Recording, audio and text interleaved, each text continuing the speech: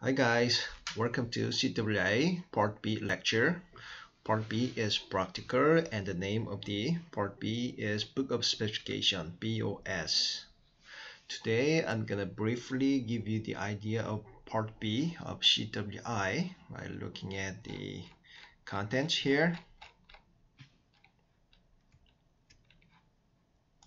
When you look at table contents, you can see the first chapter is general requirements. This is only one page, actually two pages. And chapter 2 is workmanship requirements and visual inspection acceptance criteria for structural steel application. And chapter 3 is workmanship requirements and visual inspection acceptance criteria for pipeline application. Chapter 4 is workmanship requirements and visual inspection acceptance criteria for pressure piping. So when you look at these three chapters, number 2, 3, 4, the name of the title is the same. Workmanship requirements and visual inspection acceptance criteria, but the purpose of the each chapter is different. The structure steel and pipeline and pressure piping. After these chapters, we can go to chapter 5, procedure qualification requirements, which is P PQR and WPS, WPS and PQR. WPS is WPS stands for welding specification procedure. PQR stands for procedure uh, qualification record. And chapter 6 is performance qualification requirements. This is welder performance qualification requirements. This is CWI part B. Very simple. And we have annex 1 through 10, but these are references. So um, I'm gonna give you a lecture of Part B, Chapter 2 today. Chapter 2, Workmanship Requirements and Visual Acceptance Criteria, Structural Steel. Okay, let's start. 2.1, Base Metal Preparation. 2.1.1, Mill-Induced Discontinuities. Some of you may know what mill-induced discontinuity is, but some of you are not. So I'm gonna read this text, text and give you the idea of the what the mill-induced discontinuity is. Okay. Here I underline the text with the red lines and read it through.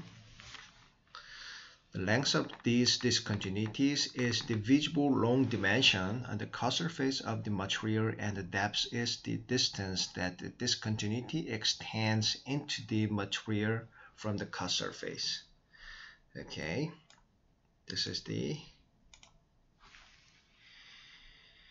mirror, dis mirror induced discontinuity. Okay, when you cut the uh, cut the base material, uh, you use something like this kind of oxygen cutting torch. So the base metal plate is cutting by this flame but when you see the surface of the cutting cutting surface is very rough. And sometimes you can see this kind of irregularity here cutting surface very irregular. And sometimes you have a defect here something like here. This is like something like porosity. And here very end of the edge of the plate you can see the poros something like porosity defect and the depth is very deep. Something like a very uh, long elongated discontinuity. This kind of things are mill-induced discontinuities. So depth is the distance that discontinu discontinuity extends into the material and the length is a visible long dimension so depth is this is the depth and this is length you can uh, try to understand this kind of concept. This depth and length. Very simple. Next one is this limits of acceptability and repair of visually observed cut surface discontinuities. Shall be as follows. So the limits limits and acceptability is following right here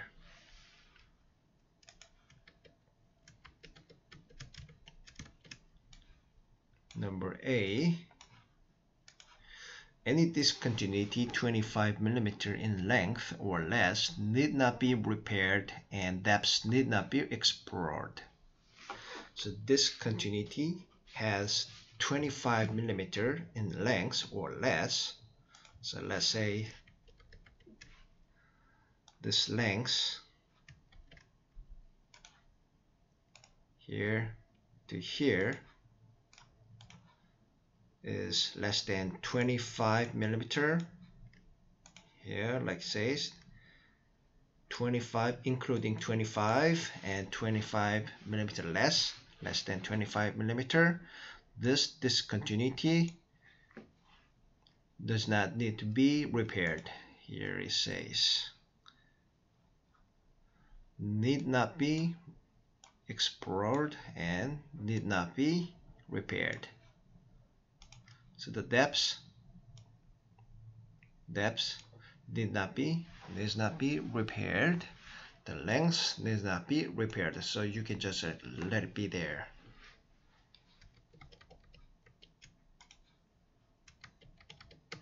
number B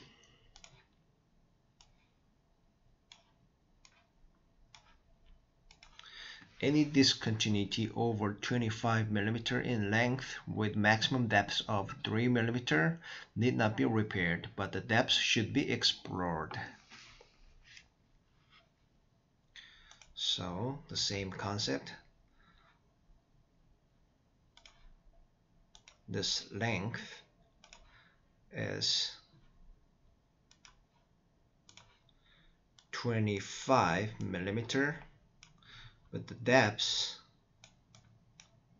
is less than 3 millimeter.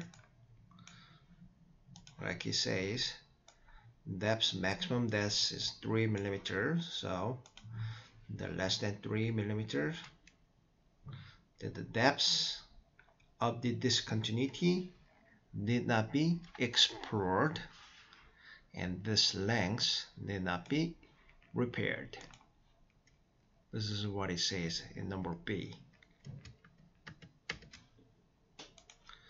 Number C says any discontinuity over 25 millimeter in length with depth over 3 millimeter but not greater than 6 millimeter should be completely removed and repaired welded.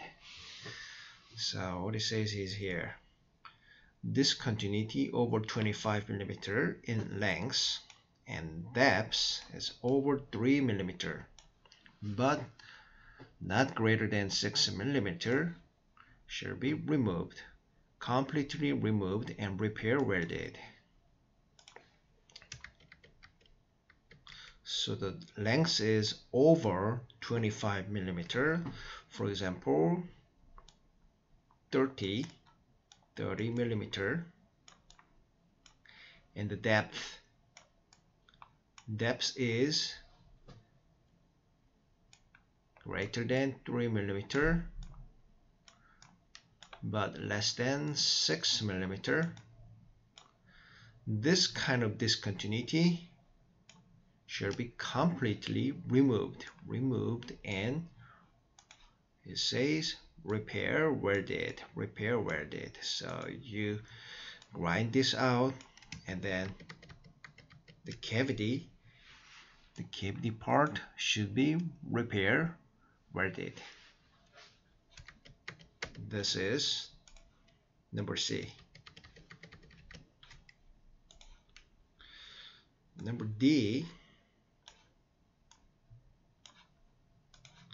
any discontinuity over 25 millimeter in length with depth over 6 millimeter shall be re referred to the engineer for disposition. As a discontinuity over 25 millimeter and depth over 6 millimeter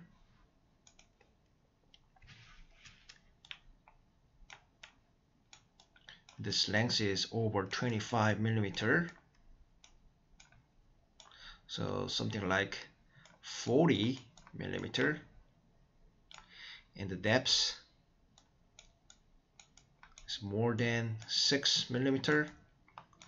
They should be should not be repaired but this discontinuity should be reported to the engineer and wait for his or her disposition what to do. This is number D Okay, let's move on to 2.2 workmanship requirements. 2.2.1 roughness requirements. Where the edge preparation and other edge surfaces shall be evaluated with the Surface Roughness Guide AWS C 4.1-77. So word edge preparation. Edge preparation is something like beveling, beveling and other edge surfaces, uh, some uh, other edge surfaces. We evaluated and cut surface should be compared with roughness guide AWS C4.1-77.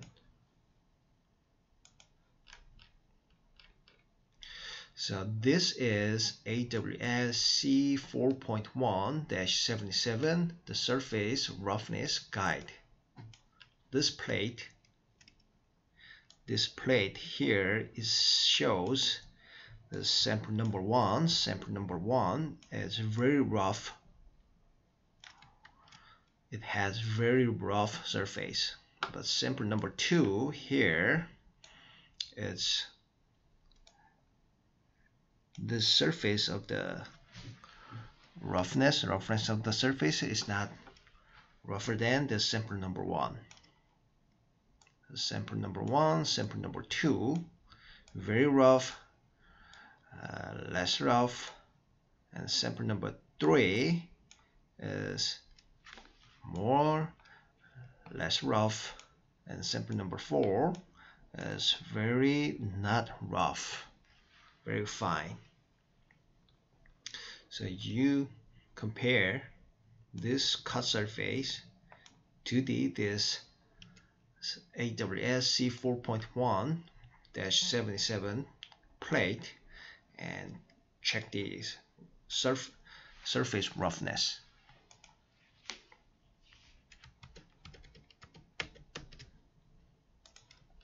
Let's go to 2.2.1.1.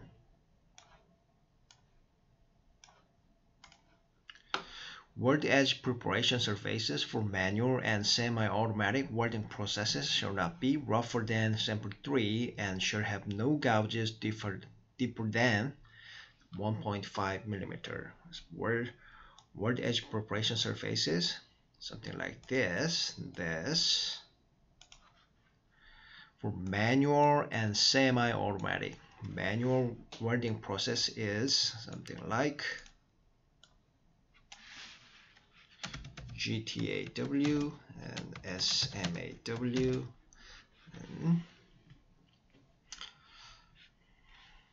This is manual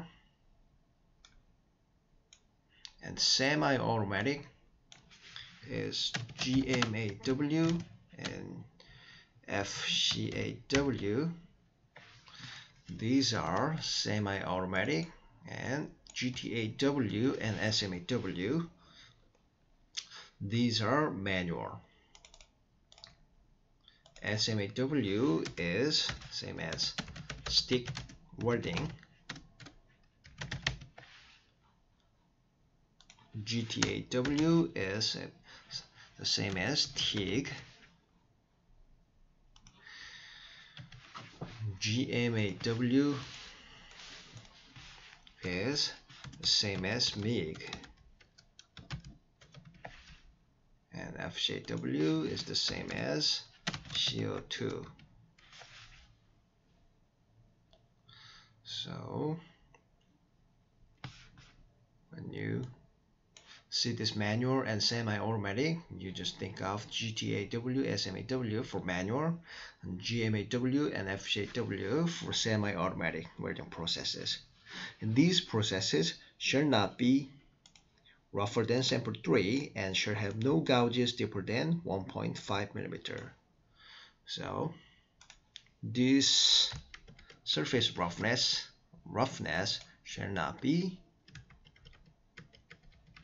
rougher than this sample 3 sample 3 should not be rougher than this surface but look at this uh, roughness. This is uh, kind of fine but this is very rough the surface roughness is very coarse. So this sample 3 is uh, not the sample 3 the surface is rougher than this sample 3 but according to this paragraph 2.2.1.1 this manual and semi-automatic welding process this uh, surface preparation should not be rougher than sample 3 so this is kind of wrong so the actual CWI problem looks like this something like examine F8 and T-joint, the surface is mechanized welded by FCAW, so mechanized weld. This is this is manual and semi-automatic, but mechanized weld is following here in 2.2.1.2. Does the surface preparation meet the workmanship requirement for structural steel application? So you compare with the CWI uh, AWS C.C4.1-77.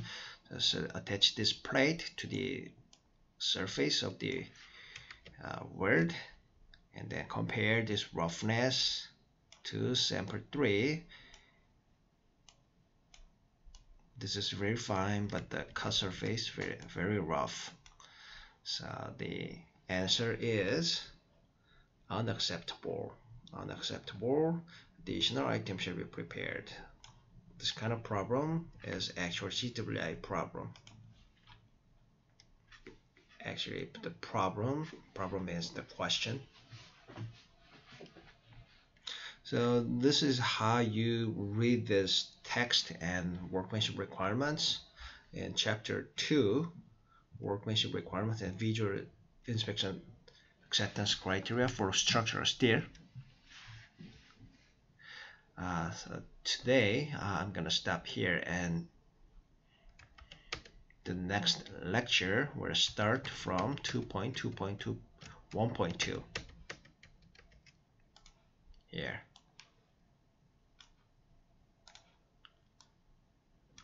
so thank you for listening my lecture today and see you next time